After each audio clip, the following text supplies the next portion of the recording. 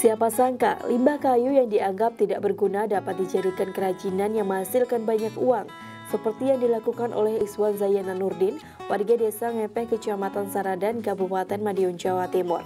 Memanfaatkan limbah kayu bekas produksi gitar, pria yang telah memiliki dua anak ini kini telah mampu membuat kerajinan bernilai rupiah, berupa peralatan dapur, tempat tubuh masak, dan toples yang begitu cantik.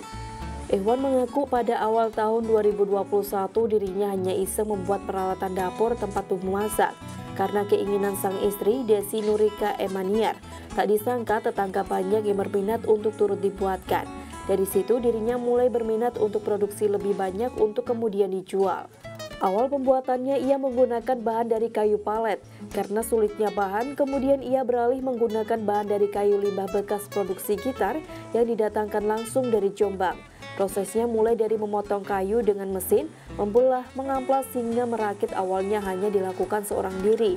Karena ramai peminat ketika dijual secara online pada aplikasi jual beli, Ide Ikhwan pun telah memiliki sekitar 19 pekerja yang membantunya dalam produksi. Karena pertama iseng karena istri minta membuatkan sebuah rak untuk rak bawang, rak bumbu itu, akhirnya saya membuat ini dan sampai di situ kok ternyata dari tetangga kanan kiri banyak yang senang dengan produk ini. Habis itu saya semakin ke sini semakin membuat habis itu orderan pesanan itu semakin banyak.